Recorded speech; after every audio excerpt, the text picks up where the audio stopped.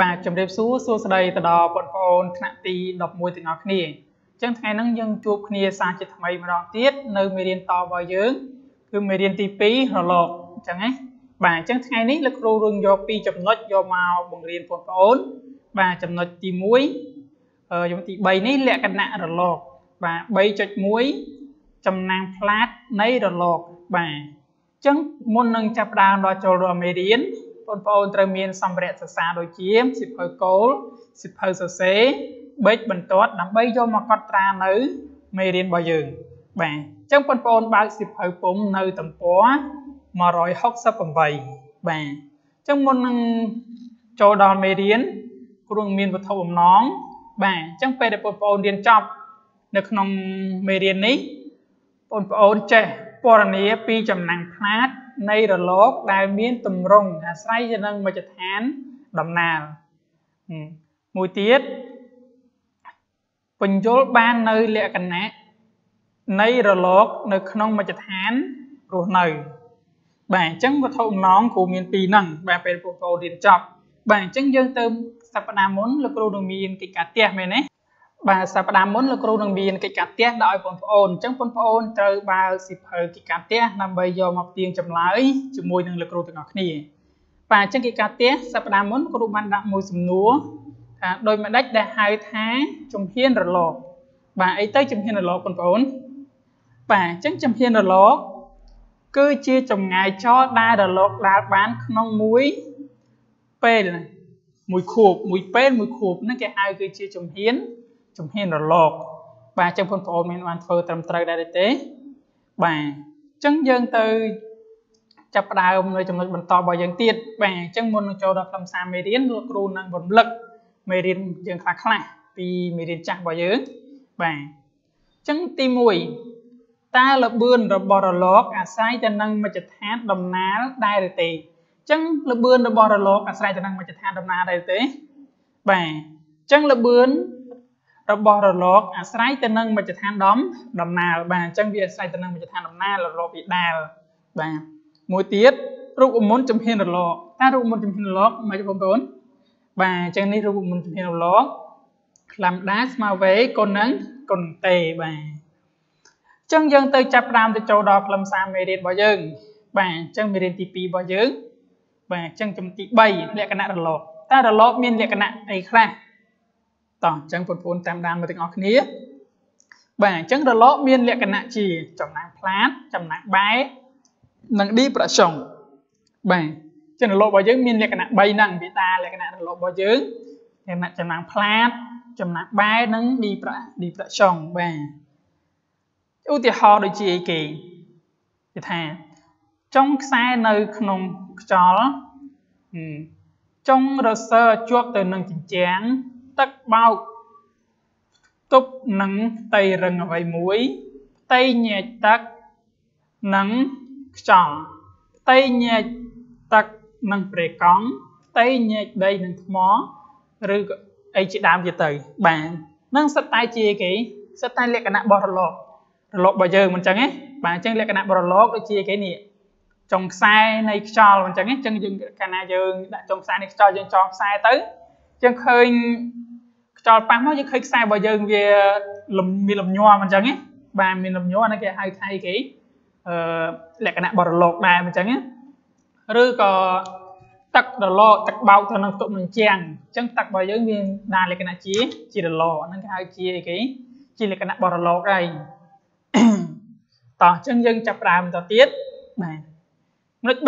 3.1ចំណាំផ្លាតនៃរលកអីទៅចំណាំផ្លាតនៃរលកបាទអញ្ចឹងទី1គ្រូថាចំហៀនរលកចាំងផ្លាតស្មើនឹងចំហៀនរលកចាំងប៉ះអញ្ចឹងបងអូនស្គាល់អ្វីចាំងផ្លាតអ្វីចាំងប៉ះស្គាល់ទេបាទឧទាហរណ៍ថាគ្រូចាំង7មួយអញ្ចឹងប្រចាំង7អឺប្រចាំង7ទៅទីនៅក្នុងកញ្ចក់អញ្ចឹងចាំង7ចូលកញ្ចក់អញ្ចឹងពន្លឺរបស់យើងយកវាទៅប៉ះអីគេវាទៅប៉ះហ្នឹងនឹងកញ្ចក់ឬហើយកញ្ចក់របស់យើងផ្លាត់នៅពន្លឺមកវិញ បាទហ្នឹងគេហៅជំហានរលកចាំងផ្លាតស្មើនឹងជំហានរលកចាំងចាំងប៉ះបាទមួយទៀតតកតនឹងលបឿនលបឿនរលកចាំងផ្លាតនិងលបឿនរលកចាំងប៉ះមានតម្លៃស្មើគ្នាអញ្ចឹងតាកតងនឹងលបឿនរបស់វាស្មើគ្នាទៀតបាទវាមានជំហានរលកវាស្មើគ្នាហើយរលកចាំងប៉ះហើយនិងជំហានរលកចាំងផ្លាតវាមានវាមានតម្លៃស្មើគ្នាមានជំហានស្មើគ្នាហើយលបឿនរបស់វាក៏ស្មើគ្នាទៀត លបឿនដំណើរចាំងផ្លាតនិងលបឿនដំណើរចាំងប៉ះមានតម្លៃស្មើគ្នាទៀតបាទ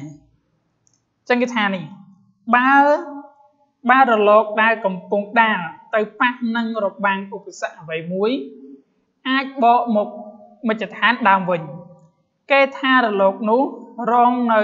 ចំណាំងផ្លាតបាទដោយគូឧទាហរណ៍នឹងកញ្ចក់របស់យើងមិនអញ្ចឹងបាទឬកញ្ចក់ម៉ូតូឬកញ្ចក់អីអញ្ចឹងចុចឆ្លុំមុខបើយើង បាញ់ពន្លឺទៅអញ្ចឹងវាទៅប៉ះនៅមជ្ឈដ្ឋានរបាំងមួយអញ្ចឹងណាបាទអញ្ចឹងវាប៉ះទៅវាផ្លាតមកវិញអញ្ចឹងគេថារលកហ្នឹងរងនៅគេរងនៅ ចំណាំងផ្លាតបាទមួយទៀតតកតនឹងចំណុចមេរៀនរបស់យើងបាទអញ្ចឹងចំណុចកនេះគឺជាចំណាំងផ្លាតនៃរលកនៃរលកវងបែបកន្លែងនេះមានរូបដោយសារលោកគ្រូបានយករូបមកទេបាទគ្រូនឹងបញ្យល់ទ្រឹស្ដីហ្នឹងបាទ គេថាបើរលកចាំងប៉ះជារលកវងដែលមាន ប្រភពនៅត្រង់ផ្ចឹកឬកំណុំរបាំងនោះរលកចាំងផ្លាតជារលករង្វង់បាទតោះនេះចំណុចហ្នឹងបងប្អូនបាទទៅតកតនឹងរូបរបស់វាដូចជាមានរលកអឺគុតខ្យងអញ្ចឹងបាទលក្ខណៈជារលករបស់យើងចាំងប៉ះវាមានជារង្វង់ឧទាហរណ៍ដូចជាបងប្អូនដែលកោទឹក បងប្អូននៅយកដៃរបស់យើងកោទឹកនៅក្នុងពាងឬក៏កោទឹកនៅក្នុងធុងយើងកោទឹកនៅយូរទៅយើងឃើញទឹកហ្នឹងមានអីគេមានលក្ខណៈជារលកប៉ុន្តែរលករបស់វាជារលករលកវងមិនចឹងទេបាទអញ្ចឹងកន្លែងហ្នឹងវាអញ្ចឹងបាទអញ្ចឹងមានន័យថានេះប្រភពដែលនៅត្រង់ផ្ចឹកឬក៏កំណុំហ្នឹងគេថារលកហ្នឹងជារលកអីគេជារលកចាំងផ្លាតរលករង្វង់អញ្ចឹងណារលកចាំងផ្លាតហ្នឹងគឺជារលករង្វង់បាទមួយទៀតតកតទៅនឹងខអឺ ចំណាំងផ្លាតនៃរលកប្លង់តើអីទៅចំណាំងផ្លាតនៃរលកប្លង់បាទអញ្ចឹងចំណាំងផ្លាតនៃរលកប្លង់នោះរលកចាំងផ្លាតជារលកវងដែលមានផ្ចឹកនៅត្រង់ចំណុចផ្ចឹកឬកំណុំរបាំងបាទចឹងគេថាបើរលកចាំងប៉ះជារលកប្លង់នោះរលកចាំងផ្លាតជារលកវងបាទ ដែលមានផ្ចឹកនៅត្រង់ផ្ចឹកឬកំណុំជារបាំងបាទចឹងអាហ្នឹងគឺជារលកចាំងរលកអឺរលកអូសំទោសគឺជាចំណាំងផ្លាតនៃរលកប្លង់បាទអញ្ចឹងវាថារលករបស់យើងនេះគេថារៀងនៃរលកចាំងផ្លាតប្រែប្រួលតាមរបាំងបាទអញ្ចឹងរលកចាំងផ្លាតរបស់យើងប្រែប្រួលតាមតាមរបាំងបាទអញ្ចឹងគ្រូក៏មាន លំហាត់មួយសម្រាប់នៅក្នុងមេរៀនរបស់យើងបាទគ្រូអត់ដាក់សំណួរមកទេគ្រូយកលំហាត់អញ្ចឹងលំហាត់នេះលំហាត់ក្រៅមេរៀនទេលោកគ្រូយកមកនេះមិនអត់មាននៅក្នុងមេរៀនទេបែរសារមេរៀនរបស់យើងមានតែទ្រឹស្ដីអញ្ចឹងគ្រូអត់យកទ្រឹស្ដីយកមកគ្រូនឹងយកជាលំហាត់មកវិញបាទគេថារលកទឹកសមុទ្របានដាល់ដោយលបឿន34ម៉ែត្រក្នុងវិនាទីនិងខួបនៃ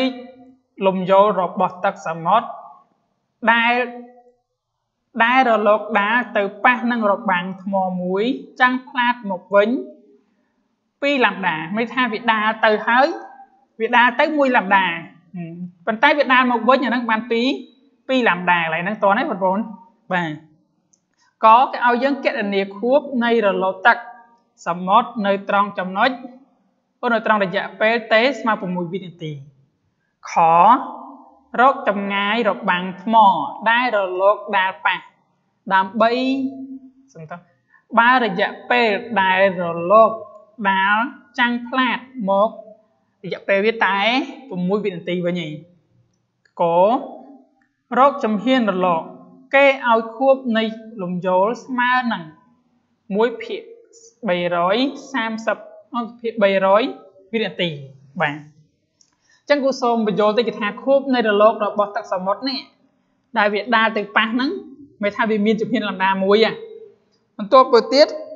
វាដាល់មកវិញអញ្ចឹងដាល់វិញបានពី2លំដាត្រង់ហ្នឹងណាបាទអញ្ចឹងកឲ្យយើងកណនីគេកកណនីខួបនៃរលកទឹកសមុទ្រនៅរយៈពេលតេស្មើ6វិនាទីបាទអញ្ចឹងគ្រូបានវិចារមកបន្តិចត្រង់ចំណុចនេះបាទអញ្ចឹងគ្រូបានវិចារគេថាអីគេ ចម្ងាយដែលរលកដាលទៅមកគឺ2លំដាអញ្ចឹងចម្ងាយរលកបើយើងដាលហើយមកវិញអាហ្នឹងมัน2លំដាដូចនេះរយៈពេលដែលរលកដាលបានមួយជំហានមានខួបទេបាទអញ្ចឹងយើងបានវាថាវាដាលទៅម្ដងហើយវាដាលមកវិញអញ្ចឹងយើងបានអីគេបាន2 2ទេបាទមួយជំហាននឹងបាទពីអញ្ចឹង2ទេរយៈពេលប៉ុន្មានរយៈពេលដែលវាដាលហ្នឹង6 6វិនាទីអញ្ចឹងអញ្ចឹងគ្រូរយគេគ្រូចង់បាន បាន6គ្រូចង់រត់ទេរកខួបអញ្ចឹងយក6ចែក2ស្មើនឹង3 3វិនាទីបងប្អូនទាន់ត្រង់ចំណុចនេះគេថានេះចម្ងាយដែលរលកដាលទៅមកពីលំដាដូចនេះរយៈពេលដែលរលកដាលបានមួយចំហៀនអញ្ចឹងមានមួយចំហៀនហ្នឹងមានអីគេមានមួយខួបដូចគ្នាដែរបាទមានខួបទេអញ្ចឹងយើងបាននេះ2លំដារបស់យើងបាទអញ្ចឹង2ទេរបស់យើង ស្មើនឹងប៉ុន្មានរយៈពេលដែលវាដាគឺ6វិវិនាទីអញ្ចឹងណាបាទអញ្ចឹងនេះទីរតេនេះមកស្មើនឹង3វិនាទីបាទអញ្ចឹងដូចនេះតេស្មើនឹង3វិនាទីបាទអញ្ចឹងខគេឲ្យយើងរយគេខរកចម្ងាយរបាំងថ្មដែលរលកដាល់ប៉ះមកអញ្ចឹងណាបាទអញ្ចឹងនិយាយថាដោយរយៈពេលដែលរលកចាំងដាល់ចាំងផ្លាតមកវិញអញ្ចឹងចម្ងាយវាមែន6 6វិនាទីបាទអញ្ចឹងយើងបានចម្ងាយចរបស់យើង x ស្មើនឹង v កូននឹងកូននឹងតេបាទអញ្ចឹង v របស់យើងស្មើនឹង34ម៉ែត្រវិនាទីតេ6 1វិនាទី បាទអញ្ចឹង x ដូចនេះ